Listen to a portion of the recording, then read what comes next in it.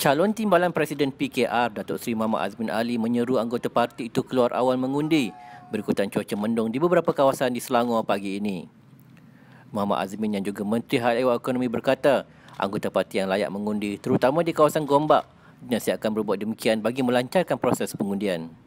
Namun saya yakin anggota-anggota parti Gombak uh, dapat uh, membuat uh, keputusan yang tepat dan adil uh, berdasarkan rekod kerja pimpinan dan uh, saya uh, percaya uh, semuanya akan berjalan baik insyaAllah.